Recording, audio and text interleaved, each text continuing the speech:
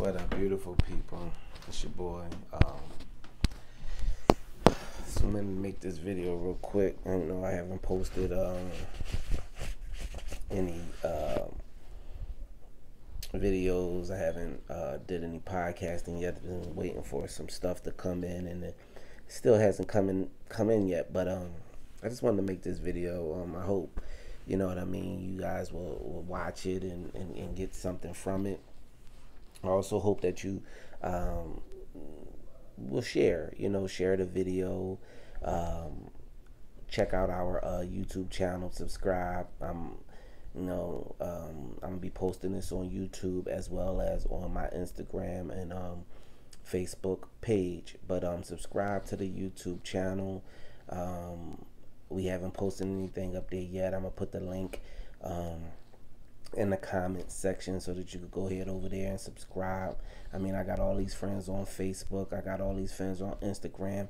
I mean, it's only a couple hundred, but um, cause I haven't, uh, I just opened up my pages because I kept everything private due to my private life, and um, I wasn't uh, trying to build uh, my uh, my uh, ministry, if you will, because to me, this is ministry. I wasn't trying to build my ministry, I'm trying to build it now. I want to build a ministry, a family oriented ministry. I want to deal with family, relationships, and different things like that. And when I say ministry, it doesn't necessarily mean that I'm going to constantly beat you in the head with Bible. Um, although I believe in the Bible, I believe in the Word of God, I believe in uh, Yeshua, aka Jesus Christ, as my Lord and Savior. I'm not trying to beat people in the head with just my beliefs. I'm trying to uh, build relationships with people in the community, in the African American community, as well as in other communities.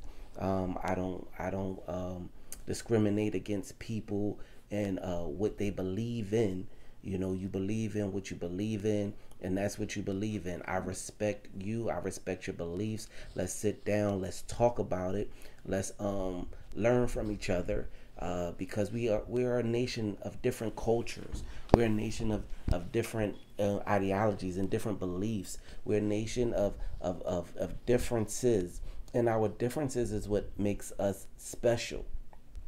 So when people uh, you know dislike a person because of their differences or ostracize a person because of their differences or marginalize a person because of their differences that saddens me and it, and honestly it makes me angry. It makes me upset. It makes me uh, want to figure out why. Why? That's why i study psychology. That's why i went to school for psychology. That's why i have a degree in psychology because i wanted to understand how the mind works and why people do what they do um, and and I, I think I learned some things. No, I'm not certified. No, I'm not a, a board certified psychologist because I chose not to go that route. I didn't want to go um, and do a, um, a practicum for three years, unpaid, and all of that stuff. Um, I went to school for psychology because I wanted to learn about me. I wanted to learn about my community, and I also wanted to learn how to help. And uh, and, all, and and and truth be told, a lot of people don't like going to go see psychologists, which is okay. But a lot of people are spiritual. A lot of people um, try to. A lot of people look for and search for spiritual things and spirituality. And for me, I incorporate spirituality into what it is that I do.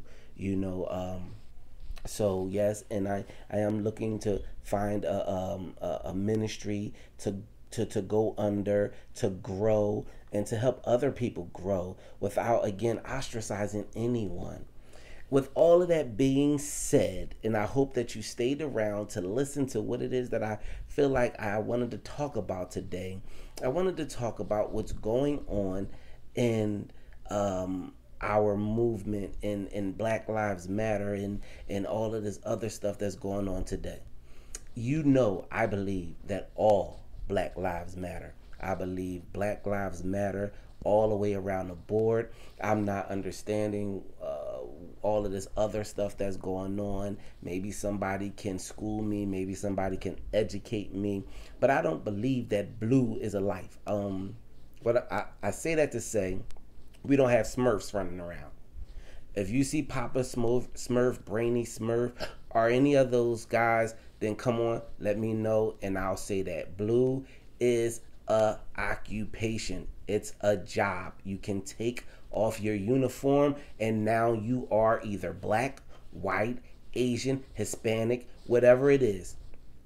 Whatever it is, whatever your ethnicity is, whatever your race is, whatever you are, that's what you are when you take that uniform off. So, blue to me is an occupation. It's not a person, it's not a color.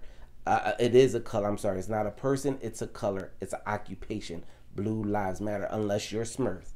If you're Smurf, then I apologize for um, ostracizing you. I apologize for uh, saying that your life doesn't matter because your life truly matters. Papa, Brainy, Smurfette, whatever.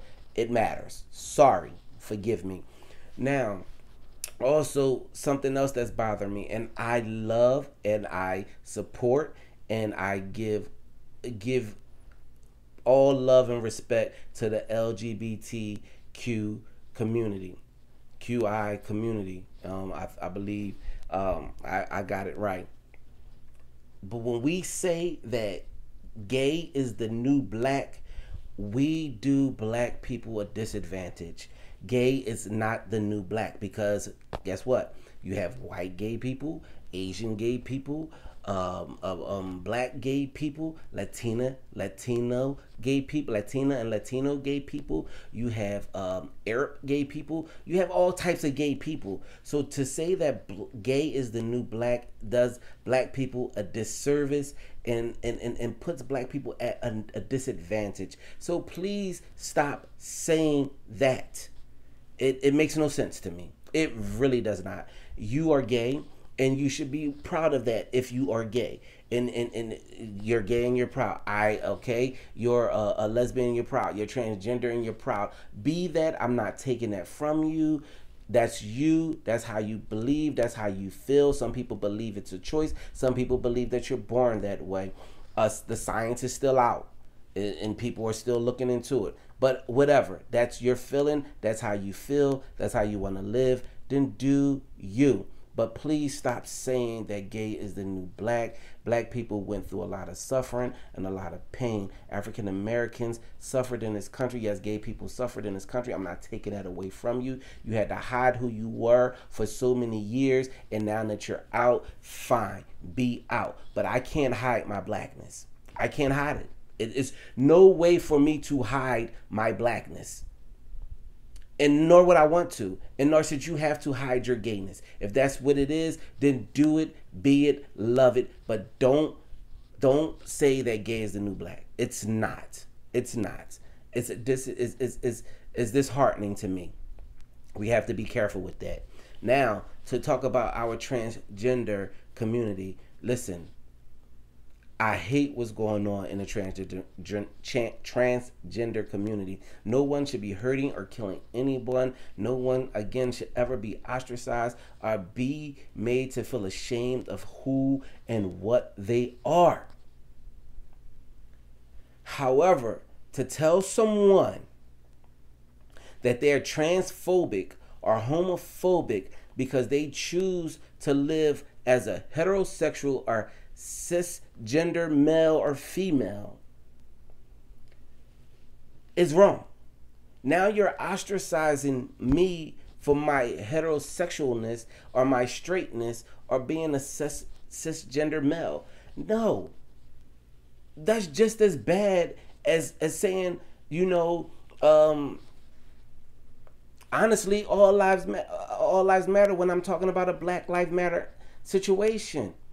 And and honestly, I believe that all Black Lives Matter, but the organization as a whole, I have some things that I do not agree with in that organization. For one, this talking about dismantling the cisgender home or making it seem like there's something wrong with people that live as they were born.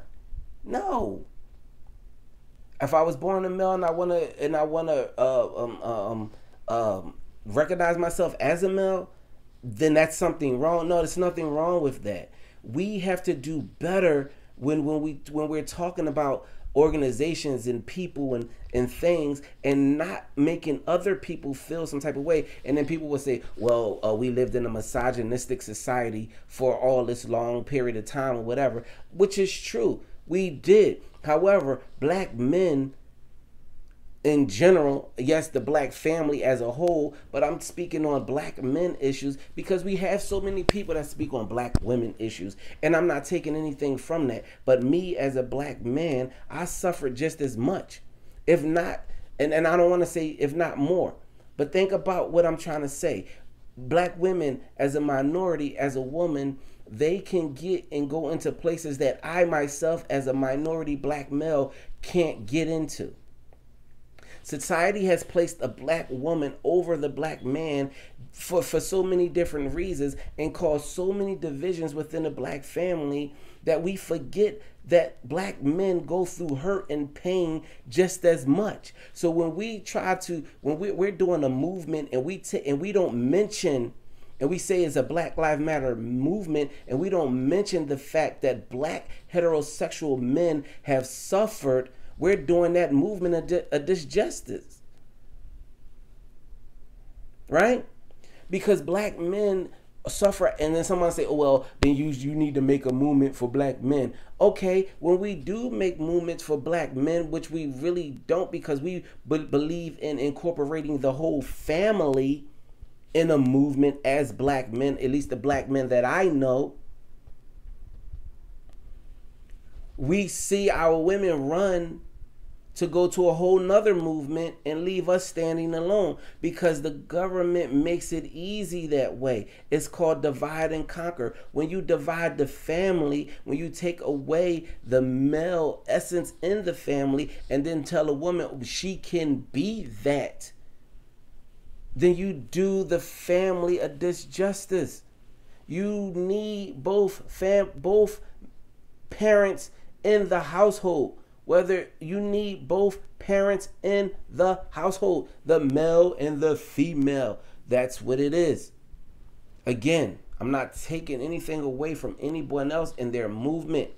I support whoever supports themselves and are trying to do something to uplift their community, their beliefs, and their agenda, as long as it's not trying to take from me. As long as it's not trying to hurt me. As long as it's not trying to hurt someone else.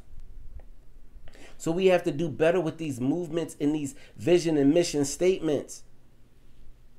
When I've read the move, the, the vision and mission statements of the move uh, of the of the organization, the Black Lives Matter organization, it made me scratch my head because I said, "Well, Dad, I'm not mentioned in this." And some of you would say, "Well, you don't have to be mentioned. Why not? If it say Black Lives Matter, I'm black.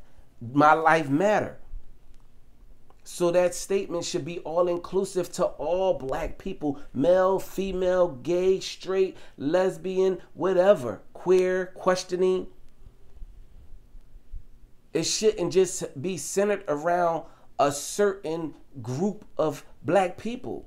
Now you're taking away from the whole movement. And I understand if Black Lives Matter, why all lives matter. If Black Lives Matter, Asian lives matter, white lives matter, Latina and Latinas lives matter. They all matter. Right? So for those people that's listening and they say, "Oh, oh he talking about his black," but not listen. We're not going there right now. We're talking about how we need to be inclusive as a people, and and, and not be so div- divisive. We we divide ourselves. We divide ourselves from by color. We divide ourselves by um, uh, cultural differences. We divide ourselves by sexuality, sexual orientation. We divide ourselves. And then we look at the world around us and talk about well, what, what they're doing. We got to do better. My heart hurt when I read that. And maybe I read it wrong. Help me understand. If you're looking at this, pass it on to somebody that can help me understand or come on a podcast, reach out to me. We can sit and we can have a conversation about what's going on. Maybe I'm wrong. I, I have been wrong before, and I apologize for my wrong. But I need you to help me understand what's going on. Talk to y'all later. You can do all things through Christ that gives you strength. I love you with the love of God, and ain't nothing you can do about it. Peace. Spread the message.